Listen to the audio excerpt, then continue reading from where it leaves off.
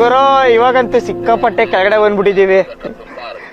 ಎಷ್ಟು ಕೆಳಗಡೆ ಬಂದಿದ್ದೀವಿ ಅಂದರೆ ಲ್ಯಾಂಡಿಂಗ್ ಆಗೋಯ್ತು, ಆಗೋಯ್ತಾ, ಹಾಗೆ ಹೋಯ್ತಾ ಅನ್ನಂಗೆ ಅನಿಸ್ತಾ ಇದೆ ನೋಡಿ.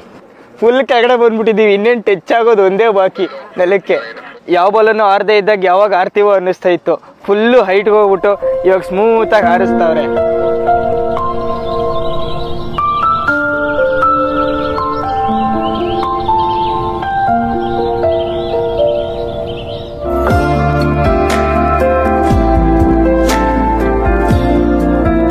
ಕೆಳಗಡೆ ಸಿಕ್ಕಾಪಟ್ಟೆ ದೊಡ್ಡ ಸ್ಟವ್ ಇಟ್ಬಿಟ್ಟವ್ರೆ.